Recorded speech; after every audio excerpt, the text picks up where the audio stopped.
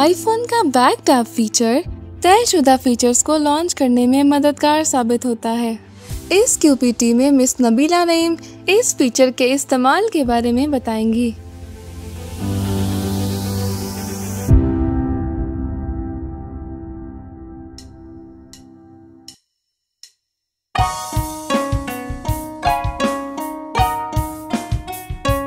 Aslam this is Nabila Naeem from blind health project आज हम iPhone के एक फ़ीचर बैक टैप के बारे में डिस्कस करेंगे। इस फीचर के थ्रू हम क्विक एक्शंस परफॉर्म कर सकते हैं।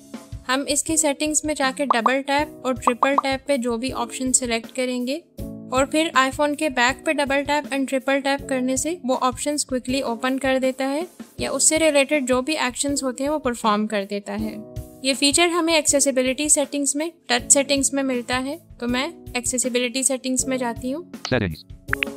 Settings. Accessibility. Button. इसको ओपन कर लेती हूँ Vision. Heading.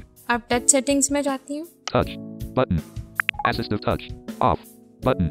ये फीचर हमें बिल्कुल लास्ट में मिलता है तो मैं स्क्रॉल करके लास्ट में चली जाती हूँ Throws 3 to 10 of 10. Back tap. Off. Button.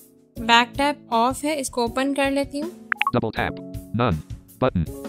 Double tap none अभी यहाँ पे कोई भी ऑप्शन सेलेक्ट नहीं इसलिए नन पे है ये तो मैं इसको ओपन करके कोई ऑप्शन सेलेक्ट कर लेती हूँ यहाँ यहाँ पे हमारे पास बहुत से ऑप्शन हैं जो ऑप्शन हम चाहे सेलेक्ट कर सकते हैं तो मैं यहाँ पे ऐप स्विचर सेलेक्ट कर लेती हूँ App switcher. Selected. App switcher. Back कर देती हूँ अभी Back tap. Back button. Double tap. App switcher. Button. तो अब डबल टैप पे ऐप स्विचर सेलेक्ट हो चुका है अब मैं फ्लिक राइट करके ट्रिपल टैप पे भी कुछ सेलेक्ट कर लेती हूँ Triple tap. None. Button. यहाँ पे मैं कंट्रोल सेंटर सेलेक्ट कर लेती हूँ Control center. Selected. Control center. Back कर देती हूँ Back tap. Back button. Triple tap. Control center. Button. तो ट्रिपल टैप पे कंट्रोल सेंटर सेलेक्ट हो चुका है अब देखते हैं कि ये फीचर किस तरह काम करता है मैं सारी सेटिंग्स को बैक कर देती हूँ Settings. तो मैं इस टाइम होम स्क्रीन पे हूँ अब मैं बैक पे पहले डबल टैप करती हूँ App switcher. Settings. Active. तो बैक पे डबल टैप करने से ऐप स्विचर ओपन हो चुका है अब मैं इसको क्लोज कर देती हूँ अब मैं बैक पे ट्रिपल टैप करती हूँ Control center.